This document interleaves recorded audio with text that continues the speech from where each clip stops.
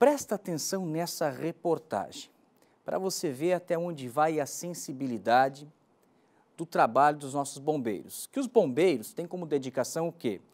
Guardar e salvar vidas, independente de quem for.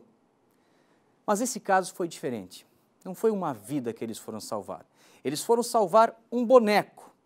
Que aí depois da reportagem, você avalia se esse boneco era apenas um brinquedo ou se que ele representa. E para a pessoa que é proprietária desse boneco, o tamanho do sentimento dela após ver que os bombeiros foram lá e resgataram esse boneco. A reportagem é do Luan Wozniak e você tem o detalhe da informação no Cidade.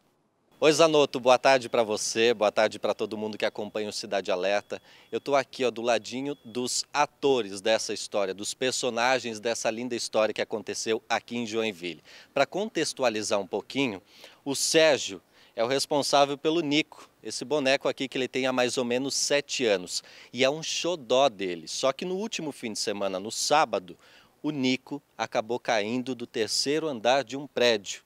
E aí foi um desespero total, né, Solange? Isso mesmo, ele levou o boneco para pegar um sol, sentou no beiral da, da sacada e o boneco caiu. Né? E para desespero dele, a distância era muito grande, ele começou a chorar, ficar nervoso. Ele estava passando o dia com a minha irmã, né?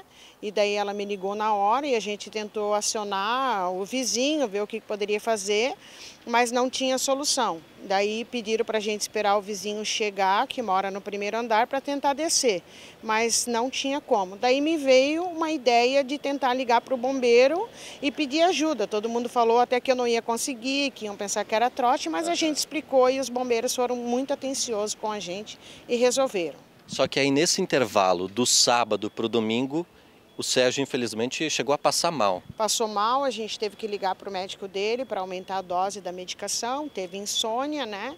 E a gente não resolveu esperar até domingo, né?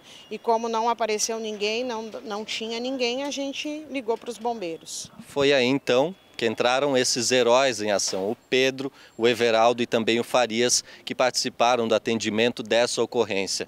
O Farias, conta um pouquinho como é que foi receber, é um chamado diferente para vocês? É bastante diferente, né? Porque é uma pessoa especial, né? Que é uma criança, a idade que ele tem, né? Foi bastante dificultoso, mas bastante prazeroso no final. Você estava comentando antes que tiveram um grande trabalho para tentar retirar esse boneco. Ele estava em cima do que exatamente? Ele em cima de um telhado. Nós tivemos que passar na parte de pular três etapas, né? Passando com escadas. Uhum. Após, temos que laçar ele para conseguir tirar. Depois de laçar, felizmente foi entregue daí para o Sérgio. mão para o Sérgio, feliz, tranquilo, pôde dormir normal.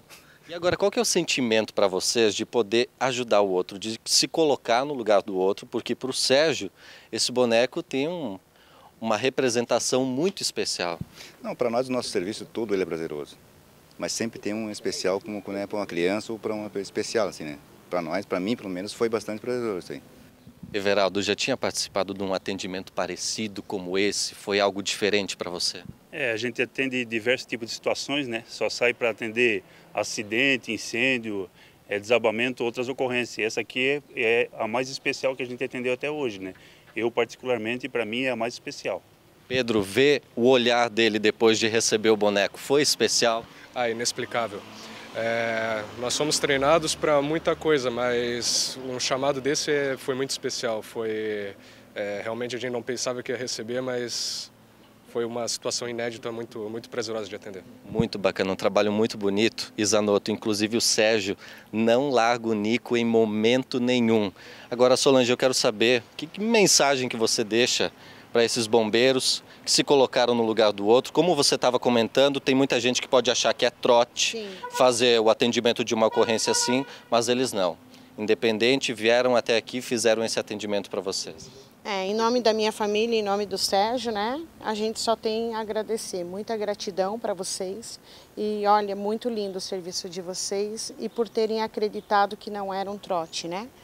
Por ter vindo e a ocorrência assim foi, não demorou muito, né? Pediram um tempo para gente e o maior fato foi quando o Sérgio viu esse boneco que vocês puderam entregar para ele, que ele viu na mão de vocês e ele dizia é meu, é meu, né? Então assim a gente não tem preço. Agora, o Everaldo antes estava comentando aqui até nos bastidores que fez um convite para o Sérgio, né? A gente faz o convite para o Sérgio comparecer junto com a família dele, os amigos, para visitar o nosso Corpo de Bombeiro, que ele está aberto para a comunidade, né? Quem querer visitar o Corpo de Bombeiro de Joinville, as portas estão abertas, chego lá e serão todos bem recebidos. Tá certo. Gente, parabéns pelo trabalho de vocês e é isso que a gente gosta de mostrar. Histórias de compaixão e também de empatia. Zanotto, eu volto com você aí no estúdio.